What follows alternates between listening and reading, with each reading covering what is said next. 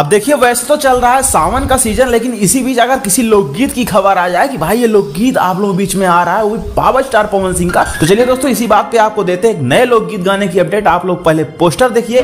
गाने का नाम रखा गया है सड़िया, और पवन सिंह के साथ में शिवानी सिंह की आवाज़ इस गाने में होने वाली है। वहीं पे दोस्तों, इस गाने को लिखे हैं कुंदन प्रीत, जो कि एक अलग टाइप की लेखनी के लिए जाने जाते हैं। भोजपुरी इंडस्ट्री में मतलब इनके जो लिखे गाने होते हैं, कुछ अलग दिशा के ही होते हैं। इसके पहले इन्होंने पतरे कमरिया रही राजा जी, जो कि आदिशक्ति से ही गाना आया था, उस गाने को भी इन्होंने ही लिखा। और म्यूज़िक इस गाने में श्याम सुंदर का होने वाला है। गाने का नाम है सड़िया और गाने में काम कर रही एक्ट्रेस का नाम है पलक वर्मा।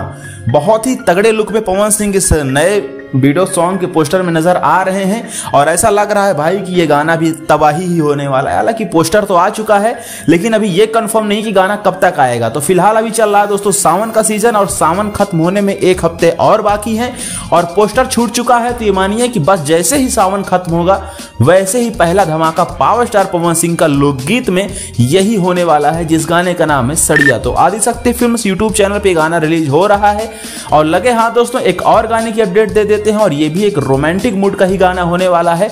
और इस गाने को बनाया गया है आप लोगों के बीच में डीआरएस म्यूज़िक के लिए। गाने की शूटिंग पूरी तरीके से कंप्लीट है, फुल ऑन रोमांटिक सॉन्ग होने वाला है। इस नए म्यूज़िक वीडियो में काम कर रही एक्ट्रेस का नाम होने वाला ईशानी घोष, जो कि एक बंगाली एक्ट्रेस है। अभी फ़िलहाल ही में पवन सिंह के साथ एक फ़िल्म भी ये कर रही है। तो इनके साथ में गाने की शूटिंग हुई है तो ये गाना भी बहुत जल्द आप लोगों के बीच में रिलीज़ होगा। फ़िलहाल आपको सड़िया गाने का पोस्टर कैसा लगा कमेंट करके बताइए, और आपको ये पोस्टर पसंद आया तो वीडियो को लाइक करिएगा, और ऐसी अपडेट के लिए बने रहें चैनल के साथ। चैनल को करें सब्सक्राइब बेल आइकन को करें प्रेस